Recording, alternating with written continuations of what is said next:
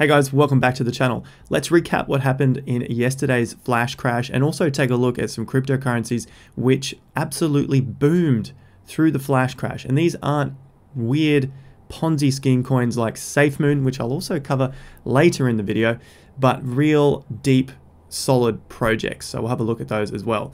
Thank you to the guys who were joining me on live stream yesterday. We had a massive turnout, over 4,000 people live. So if you're new to the channel, thank you so much. Be sure to hit the subscribe if you're new here as well, and the bell notification icon if you haven't done so already, so you can be updated when we have time sensitive content come out.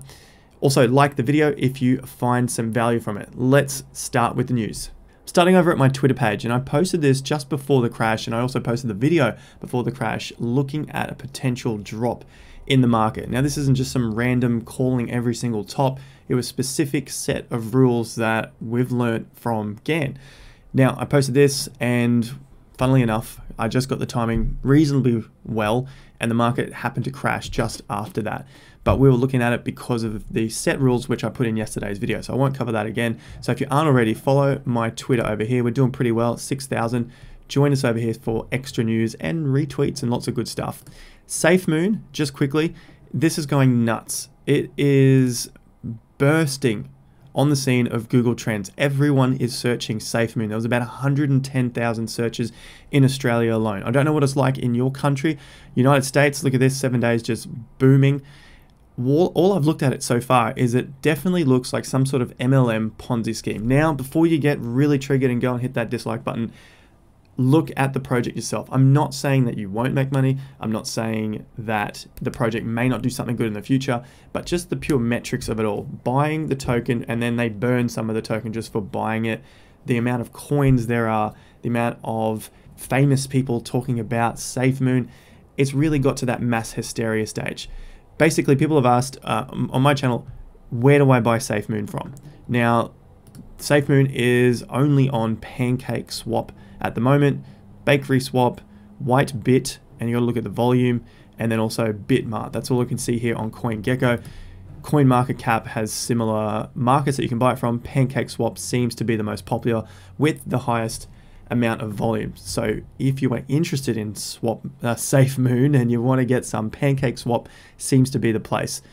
Now I'm not promoting this anyway. It's just people have asked so many times, so I'm just going to leave that here on the video. That's where you get it from. Following the channel, yesterday's live stream, massive. This is the video here that we're looking at in terms of where to see those signals for the Bitcoin drop. Let's take a look at the fear and greed from yesterday. 74. Yesterday, Extreme Greed 79. So it must have been, it was such a flash in time that the market dipped and came back and it hasn't recorded on the fear and greed index because a lot of people were pretty pretty fearful. So I think that we would have seen a lot further down the scale if the fear had lasted longer than it did, which was about an hour or two. coin CoinMarketCap is a good one to have a look at as well. There's a lot coming out. Uh, we've got Terra Virtua, which is a big project that we follow here on the channel. Gas fee resolution, check that out.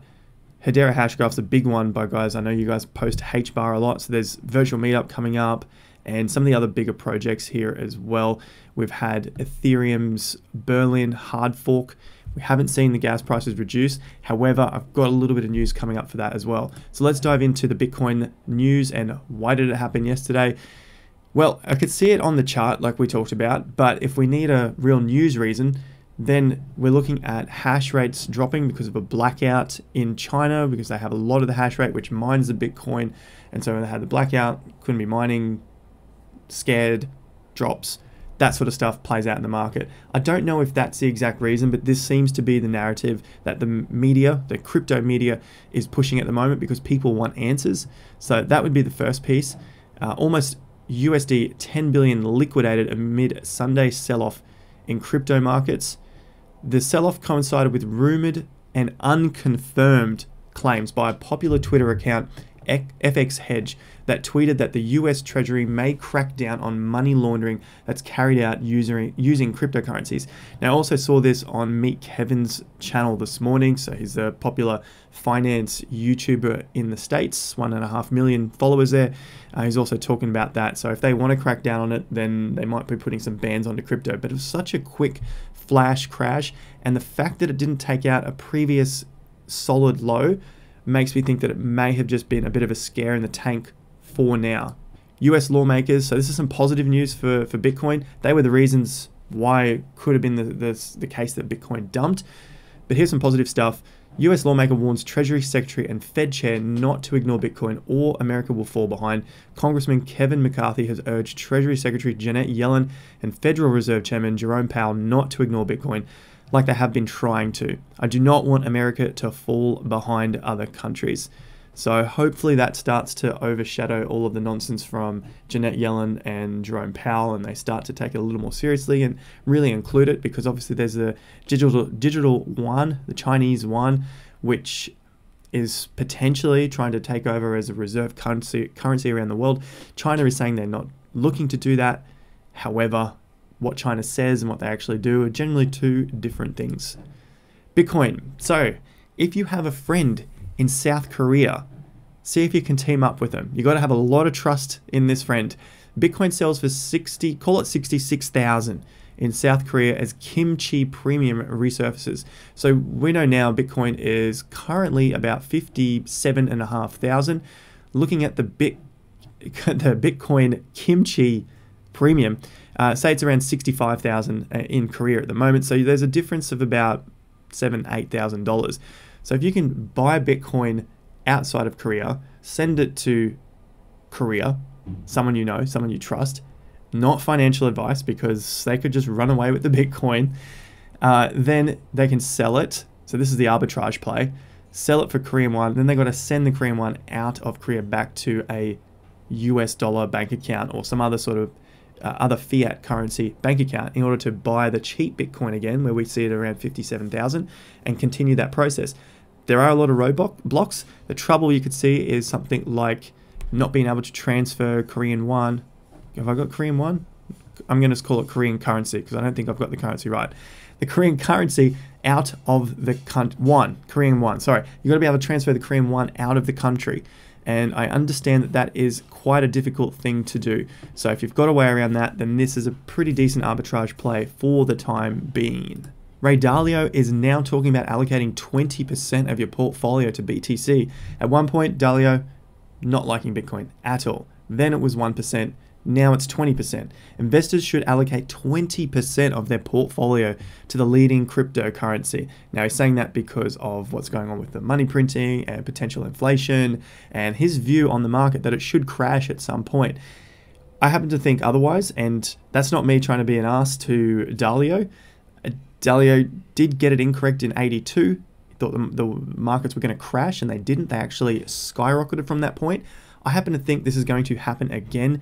I think Dalio's got the timing just a little bit out. I think we're going to be skyrocketing into around 2025, 2026. This is a stock market, not necessarily a cryptocurrency market, but definitely the major traditional legacy markets, the stock market and the land market, which you guys would probably call the housing market, property market.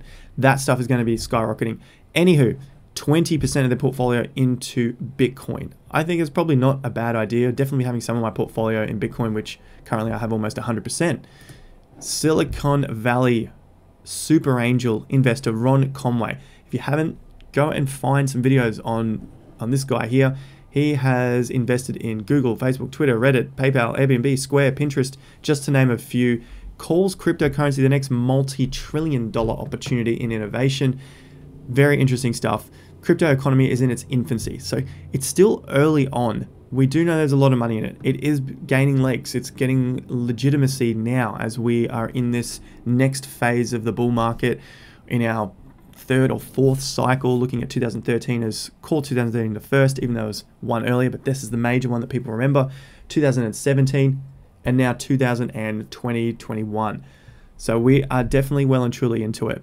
But this guy Ron Conway is uh, looking at cryptocurrencies having those next major opportunities, like we saw with Google and Amazon, Apple, etc. So seeing Coinbase is one of those, and I definitely think Bitcoin and Ethereum are in that pocket as well. Coinbase insiders dump nearly 5 billion in coin stock shortly after listing. So people that were interested and they're wanting to buy in at the open. If you didn't you've got better pricing at the moment. So the market's going to open in about six hours in the US. It's currently 6 p.m. here on the east coast of Australia as I record this, and I'll probably put this out in a couple of hours. So Coinbase CFO sold about 255,000 shares at a price of 388. That netted her close to $100 million. Now, CEO Brian Armstrong sold about three quarters of a million shares, netting him a total of just short of 300 million. So about 400 million all up. Now, this is only a small fraction of their total holding. So people are probably getting pissed like they're dumping on the, the dumb money, the retail investors coming in. But this is a very small fraction of their portfolios. It was less than about 10% we saw further down uh, down here in the article. Likewise, many Coinbase employees now have a stake in the company as 1,700 Coinbase staff were gifted 100 shares each as a thank you. So if we look at it in terms of the approximate closing price of around 340 bucks, these guys all got about 34 grand at the current price. That is pretty sweet gift from the boss. Now there is institutional buying of Coinbase as well. It comes from hedge fund manager Cathie Wood, ARK Invest. If you guys don't know ARK Invest, follow that YouTube channel. They do great weekly wrap ups of the market and how they see the technology market and the overall market. Really, really good stuff. If you want to learn more about investing, hedge fund manager Cathie Wood is placing a big bet on the exchange, having purchased over $350 million in shares for three different ARK ETFs. So, over 350 million, these two alone, the CT, CFO and the CEO, sold a total of about 400 million. So, just alone, Cathie uh, Cathie Wood from ARK basically bought all of their shares for the the ARK ETFs. Pretty interesting. Ethereum. Don't sleep on Ethereum. I know a lot of small players in the in the space. We're all small, but you know if you're only looking to put 50, 100 bucks into different cryptos or DeFi and the fees are just too much and you're pissed off with Ethereum, don't be. If, don't sleep on Ethereum because the bigger into institutional players they don't really care for $50 fees. They're, if they're paying $100 fees, whatever they need to do, it doesn't matter. You know, they're playing with big money. So if you want to play where the big money is, look what they're doing. So Ethereum is definitely in the space to be skyrocketing this year. Ethereum's transaction fees are still sky high despite blockchain improvements. The currency is in the midst of a bull run. Three Ethereum ETFs will launch in Canada, Canada next week. This is good news for Ethereum because it's good news for crypto. Coin closed at $342 on Friday, proof that Wall Street is firmly interested in digital currencies.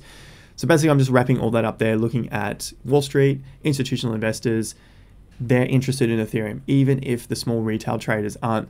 This is, for me anyway, it's like the digital gold. Bitcoin is also a digital gold.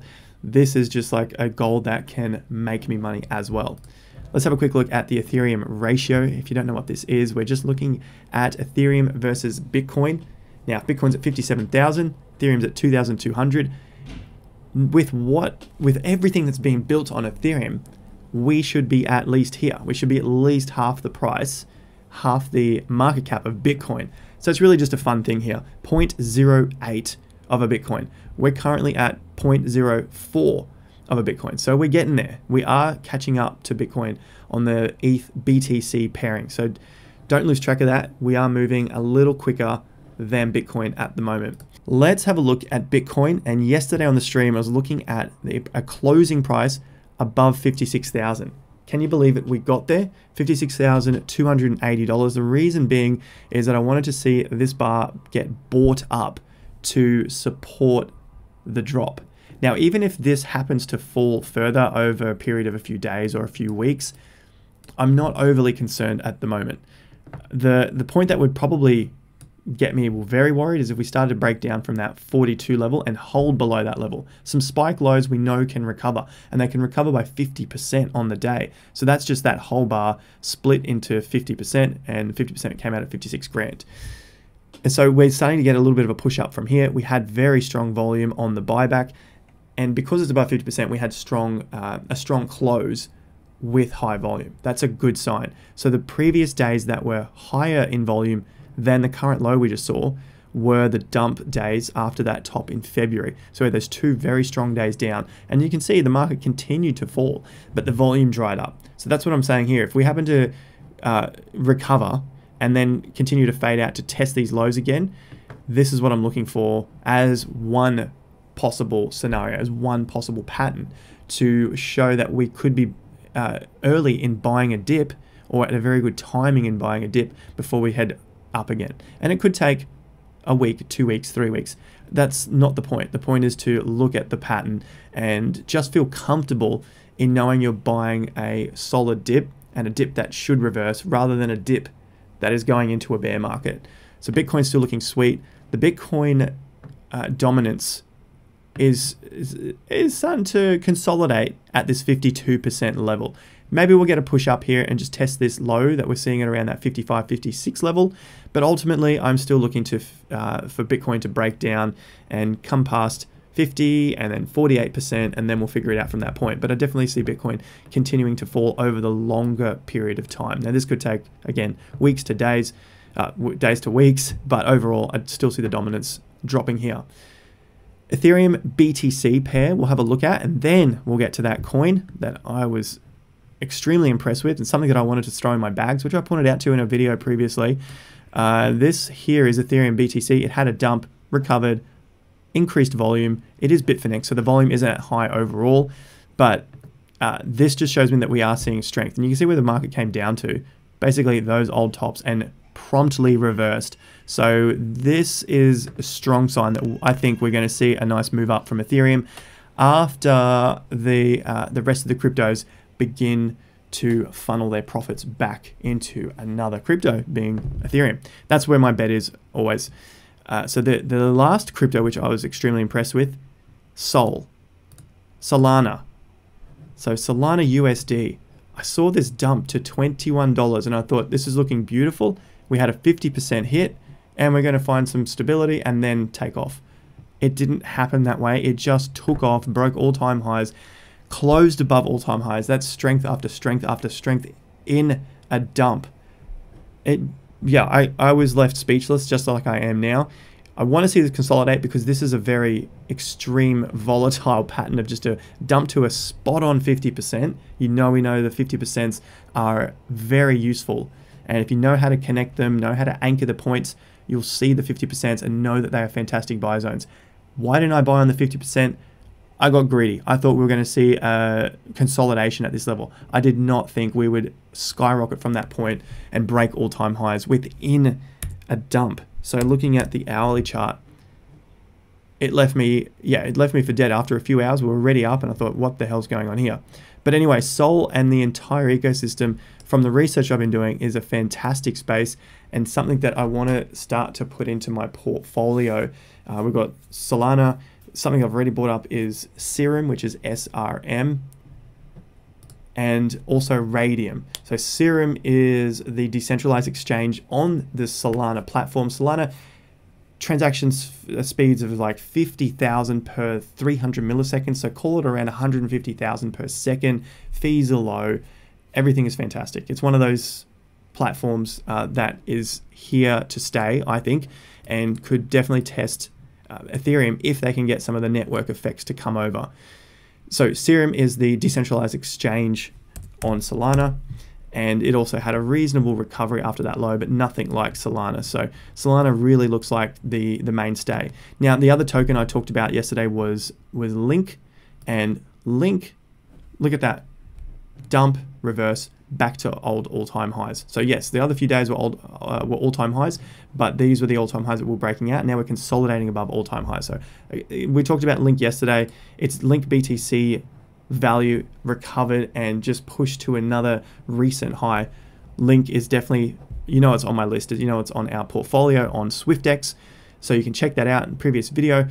If you haven't already, check it out. Subscribe to the channel. They're the two coins that I love the look of through that bull market. They're big plays, but they are strong and solid with good outlooks, of course, in my opinion here on the channel.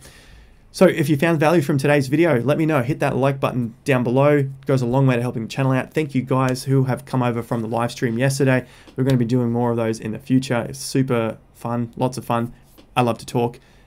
More of those in the future. Subscribe if you haven't already. Free newsletter. Subscribe to that. Drop your email address. The link is down below. Free newsletters comes out every two weeks. Lots of crypto, lots of investing tips on that as well. So make sure you do that and get on board for the free newsletter. I'll see you guys at the next video. Until then, have more fun to get more done.